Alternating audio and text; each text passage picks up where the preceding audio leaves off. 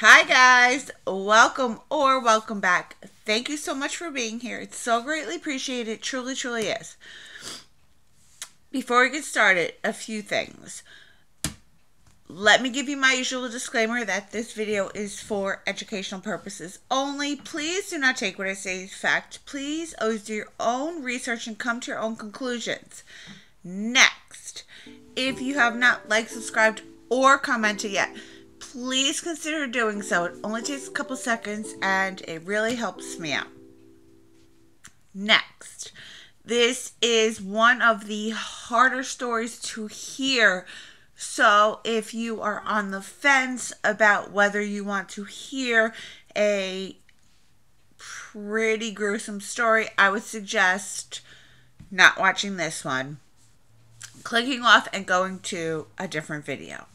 Lastly, a huge thank you to my subscriber, Jenna Dietz, for bringing this video to my attention. And with that, let's get started. 30 year old Jenna Lee Daugherty was born on November 8th, 1979, in Mount Pleasant, Pennsylvania. She was mentally disabled, so even though she was 30 years old, she had the mental capacity of a 14 year old and the IQ of a 71 year old. She loved to dance and sing. She was very easygoing she was very trusting. She liked to have fun. She made friends easily, and it said that once you were her friend, you were her friend forever. This would also be a downside to Jennifer. She was way too trusting. But she never let her disability stop her from living the most normal life po- possible. And although her parents were concerned, they helped Jennifer to feel the sorts of independence that most of us take for granted. She was very excited to tell her parents that she had just made a new group of friends at an adult community center in Greensburg, Pennsylvania, which is about 10 miles away from Mount Pleasant. 17 year old Angela Marinucci was the first friend that Jennifer made from those that would later be dubbed the Greensburg Six. Angela, who also had mental disabilities, was, was described by mutual friends as very polite, very helpful, and having impeccable manners.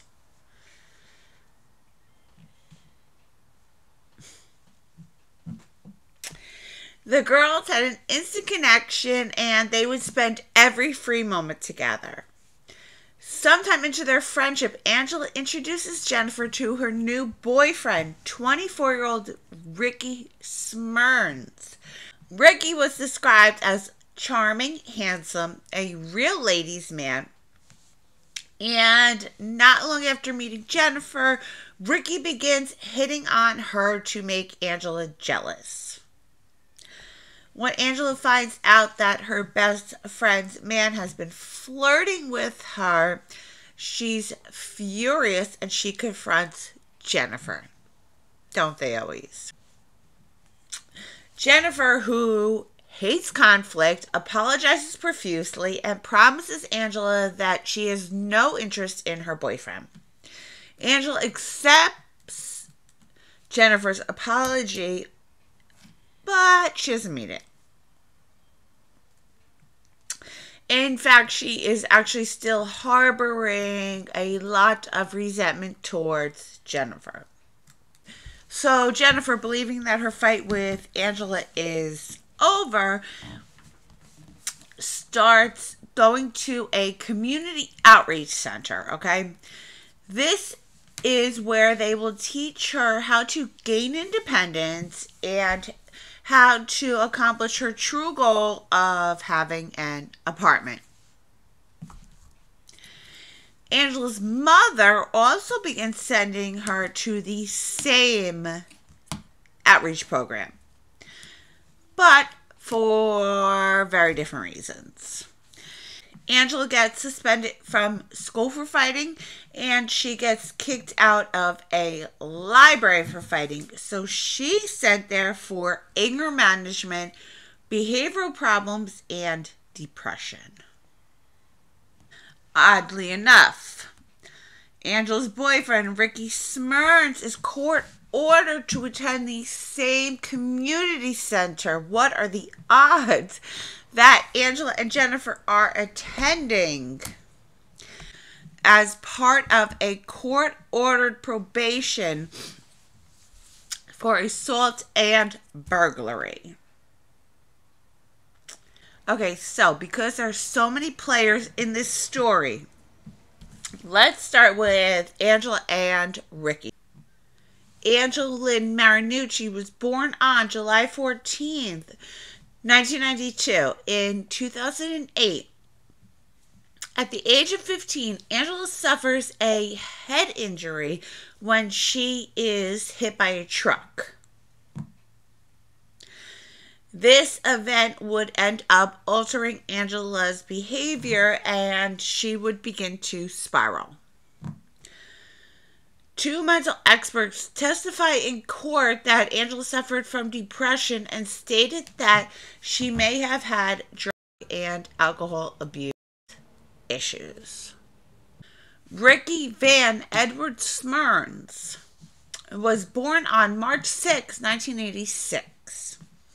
His mom was a sex worker in Philadelphia, Pennsylvania, and was addicted to. And his father was a gang member in Pittsburgh, Pennsylvania. He spent his childhood in and out of foster homes and began being treated for mental health issues at the age of four. Four.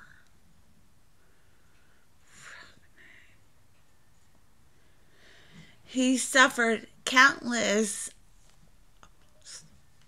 and neglect until he was finally rescued by the Smyrnes family when he was 10 years old it would later come out in court that Ricky Smyrn suffered from physical and from his father and uncle. Real father and uncle, not adopted father and uncle. He tried beer, the white stuff that goes up your nose, and marijuana by the age of six. By age of six years old. Oh my God. Six. He was diagnosed with PTSD at the age of eight, and by the age of 10, he had already attended more than 103 therapy sessions. He was diagnosed with seven different personalities and 15 different psychiatric issues.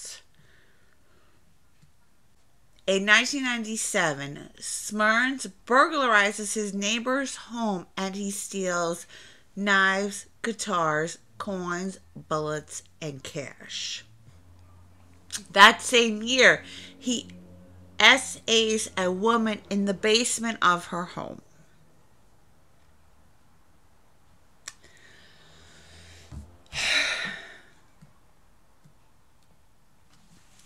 In December of 2009, Ricky and Angela are still dating.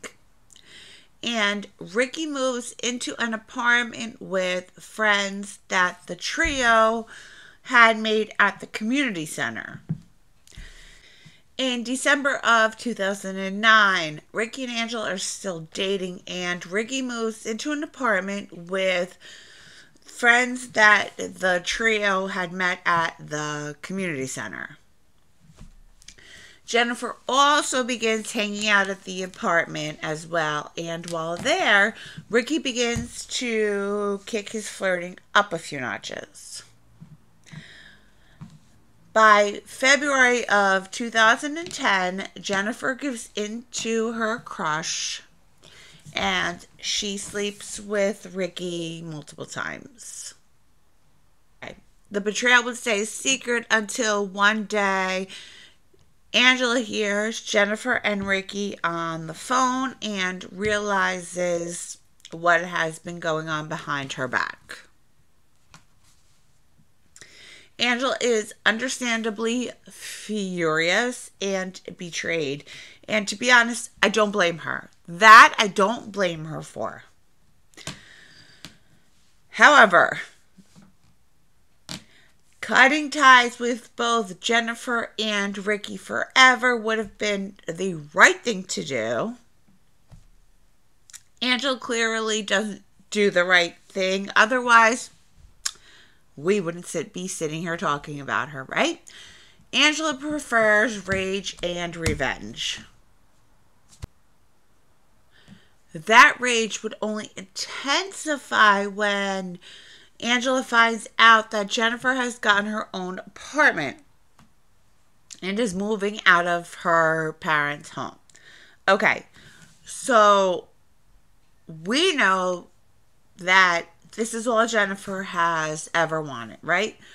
But because Angela believes that the reason Jennifer is moving out is so that she could have a love nest for her and Ricky.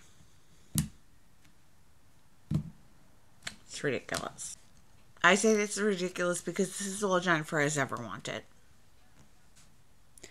Monday, February 8th, 2010, Angela texts Jennifer and invites her to a sleepover at the Greensburg apartment of Ricky. That morning, Jennifer leaves her mother a note that reads Mom, I hope you have a wonderful day at work. I love you very much, Jennifer. Her stepfather then drops her off at the bus station, and Jennifer is headed to Greensburg. This would have actually worked out perfectly for Jennifer because she had a doctor's appointment the following morning, Tuesday, February 9th at 3 o'clock. So she had planned to attend her doctor's appointment and then head home. Here we go. It is alleged by Ricky Smyrnes that Jennifer asked him to have sex with her that night and that he angrily refused.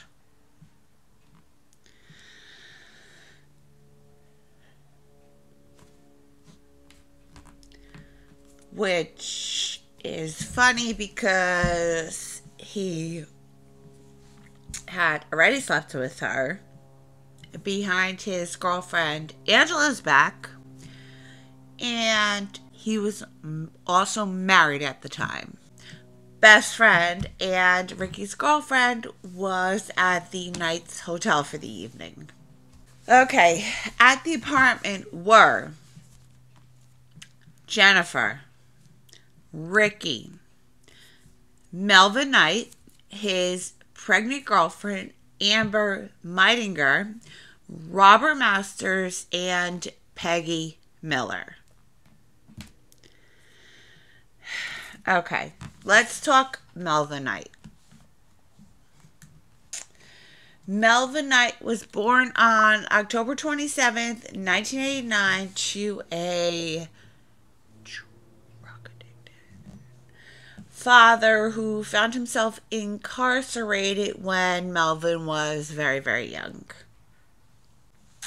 He would end up having a um, he would end up having lifelong issues with learning and social skills after falling out of a moving vehicle at the age of five. Obviously not his fault. That's that's not his fault. That's terrible actually. I feel terrible for him for that.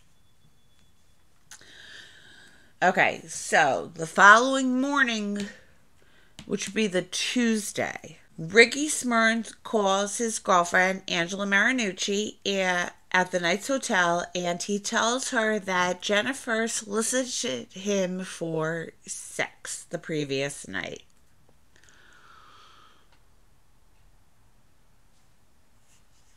Oh, you poor, poor thing.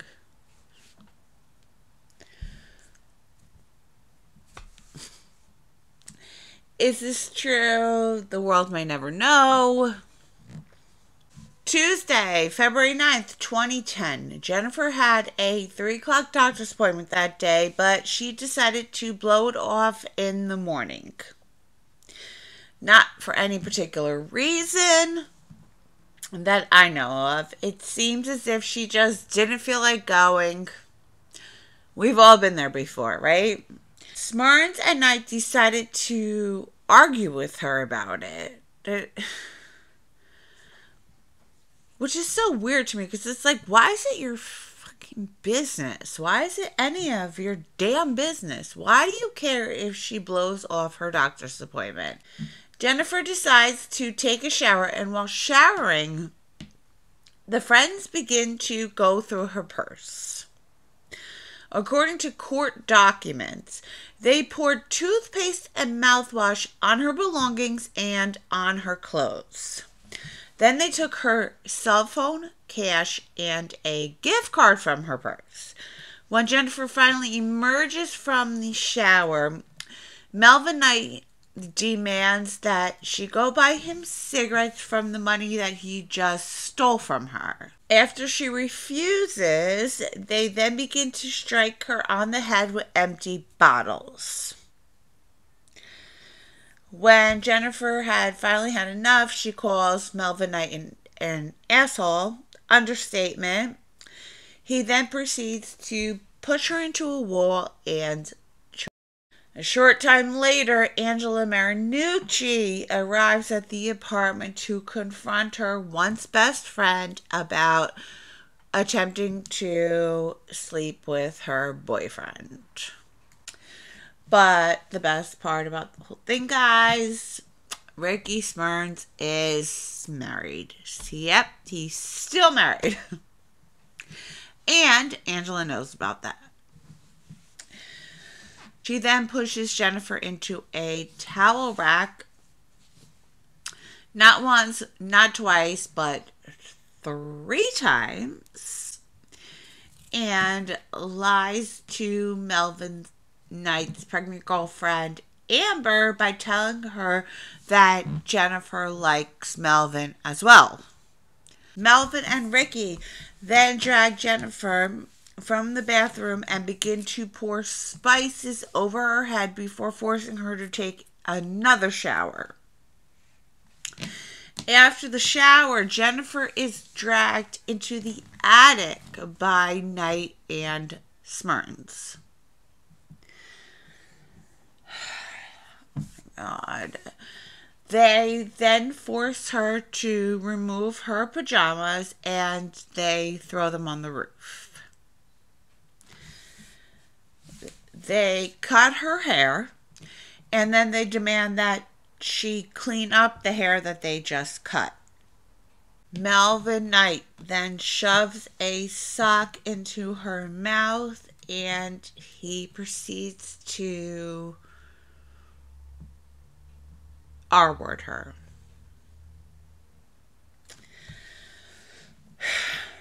Police were actually called to the residence by neighbors that heard screaming. But the six were able to convince the police that everything was fine. And the police end up leaving without ever checking on the house, which means they never end up checking on Jennifer. So imagine going through all of this already, and your only sign of help, the only sign of freedom, the only thing that's going to get you out of this drives away. What a crushing, crushing blow. Like, what a crushing blow, right? Jennifer would survived that night. The following morning, Angela, Melvin, and Ricky leave to go cash a check. Before leaving, Ricky threatens the others with physical harm if any of them let Jennifer leave or help Jennifer leave. When the trio return, Angela sits on Jennifer's stomach and begins to punch her in the face. That's when Jennifer knees Angela in the stomach. Good for you, girl. Okay, so what does Angela do? Angela runs to Ricky and tells Ricky that Jennifer has just killed their baby, claiming that she's pregnant. Okay, first of all, she's not pregnant. Second of all, that's not quite how it works. Angela goes on to tell Ricky Smyrnes that he had to choose between her or Jennifer, and that if he chose her, Jennifer has to go. The group then decides to have a family meeting. After said meeting, Angela pees in a cup and Amber forces her to drink it while striking her with the towel rack. When that wasn't enough for them, they force her to consume feces that's mixed with urine, spices, parsley, and garlic while again striking her with the towel rack when that was still not enough, they forced her to drink Clorox water and cigarette ashes. Throughout this entire ordeal, Jennifer was not surprisingly crying and vomiting. This is the absolute definition of evil.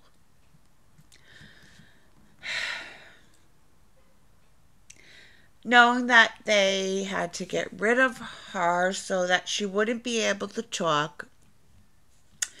The group forces Jennifer to write a unaliving note. Hello, friends. I know I'm changed. Um, I had to go to my son's trick or trunk, so that's why I'm in different clothes. Okay let's finish this. Where have I even left off? okay. The unaliving note. So they made uh, Jennifer write a note that reads I haven't been very happy for a while, and I also feel that everybody would be better without me on earth. I will always love my mom and stepdad no matter what, and I will always love the rest of my family also. My nieces and nephews would be lucky to have a better aunt than me. I am done with life, Jennifer. After she was done being forced to write the letter, Jennifer was dragged into the bathroom where she was by Smyrnes and Knight before they slit her wrists. As if that was not enough, they decided to, as she lay there dying. The torture would finally end 33 hours after it began. It's a long time. A long time. After she was gone, she was wrapped in Christmas lights and garland, placed into a garbage can like trash and left at the Greensburg Salem Middle School. Then the Greensburg Six went home and went to bed as if nothing ever happened. Jennifer would be discovered later that morning underneath a man's work truck in the school parking lot. The worker contacted police who would begin an immediate investigation because Jennifer left the name and number of where she would be staying, it was fairly easy for the police to figure out who had done this. Which is why this so, so, so important to let people know where you're going to be. She was smart. She was a smart girl because had she not, who knows how long it would have taken to solve this or if they ever would have, right? Okay, so Angela Marinucci, the so called best friend, was sentenced to life in prison. Ricky Smyrnes was sentenced to death, as he should be. I think they all should be, but that's besides the point. I think that even though they didn't all play equal roles in this, they all played equal roles in this because they allowed it to happen for 33 hours. Melvin Knight was sentenced to death. Melvin's pregnant fiance, Amber, was sentenced to 40 to 80 years. Peggy Miller was sentenced to 12 to 24 years. And Robert Lauren Masters Jr. was sentenced to 20 to 40 years for third degree 7 to 20 years for conspiracy to commit, and 3 to 10 years for conspiracy to commit. Peggy Miller did not ever deserve to be a mother, and that's the only comfort that I have is knowing that she will never have that. Um, she's still a daughter. She doesn't deserve a child of her own, and she will never have one. Peggy Miller will spend 35 to 74 years in prison after pleading guilty to third-degree murder and conspiracy charges. Miller was Jennifer's friend, and even when she had the opportunity to call for help, she didn't, and instead voted for Jennifer to be killed. They had numerous, numerous opportunity to help themselves and help Jennifer. Uh, they chose not to. Robert Masters will spend 30 to 70 years for pleading to the same charges. Melvin Knight and Ricky Smyrnes were previously sentenced to death. Angela Marinucci was sentenced to life in prison, and Amber Meidinger received 40 to 80 years. People tell me that I have to forgive to move on, but how do you give or, or how do you forgive someone for torturing and murdering your child? I just don't know how that's possible. I think maybe focusing more on forgiving ourselves. I think our biggest regret is forcing Jennifer to act like an adult while treating her like a child. I would go back and do so many things differently, knowing now what I do. Ugh, that poor thing. God bless her. All right, guys, if you're still here, thank you, thank you, thank you. I appreciate you so, so, so very much. Um, if you have any suggestions, please email me, harding527 at yahoo.com. I know it's taken me a little bit longer to get thing to respond and to get things out. That's because school has started. Um, and the majority of my time is at my schoolwork. But I am trying, I promise you. So, I'm sorry. I apologize again, but I save everything. I promise you, I save everything and I'm getting to them. I will get to them as I can. With that, thank you so much for being here. Thank you for being you. Thank you for your support. If you haven't liked, subscribed, or commented yet, please consider doing so. And until next time, stay safe out there, guys.